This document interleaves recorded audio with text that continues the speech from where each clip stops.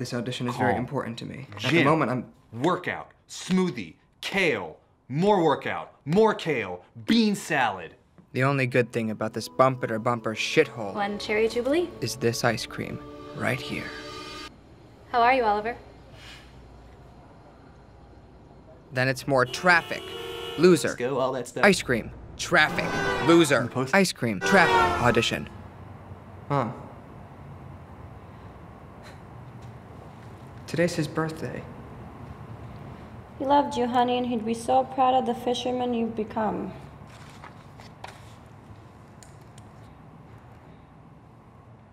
Okay, let's try it again. was and then the serial killer superstar. I just want to quickly commend whoever did that film for what I always appreciate is the simplicity and the clarity of everything involved. Everybody looked great, it, it, and the acting was great. The story was relatively simple. It was funny, and the one comment again, feedback. the most interesting moment was when he was stabbing that guy, and somebody threw a handful of red confetti up behind him. And I, when I was sitting here, I said, I don't know if that was the worst part of this film or the best part of the film. My guess it was the best because it's what I'm going to be thinking about when I'm driving home tonight. I loved it. It was hilarious. And not only that, I would love to hire someone like that. Like sometimes, like when things are happening, it's like really what's going on in your mind. Like I really want to kill somebody. You know what I'm saying? And to visualize that, I'm like kudos. Right. I thought it was great.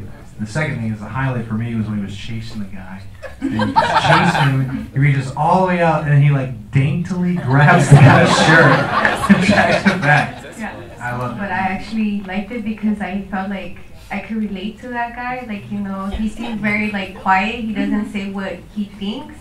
So that's how I feel, you know, like people tell you just suck it up, you know, you're just like, alright, sucking it up, you know. And then after a while you're just like you can't um how can you say it? You can't use You just can't take it, you just explode. And you know, he actually had the courage to like kill whoever, you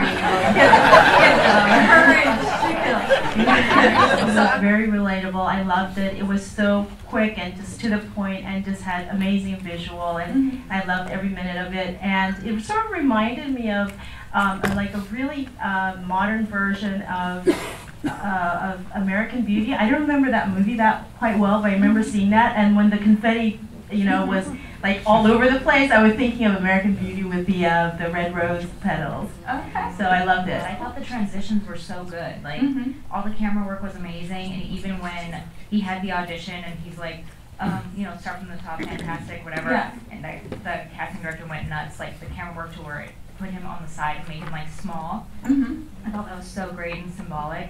And just the whole supporting, like the cast, the lead guy, Mhm.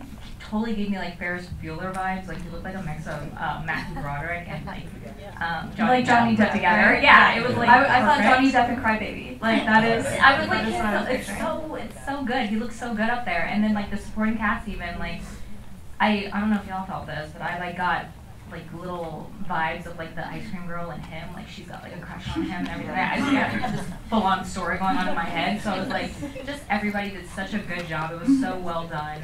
Um, from you know top to the bottom, just thought One thing I liked about it was just like how, the absurdity of it because it really felt like it was really how he felt in each situation.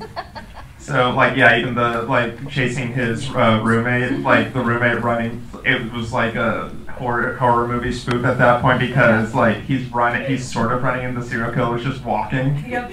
But also just that juxtaposition of like it takes three kills to beat that. But um, what really got me is just like you kind of got that like him not getting the ice cream after dealing with his douchey roommate. Like Yeah. no, don't don't worry, not all actors eat that much kale.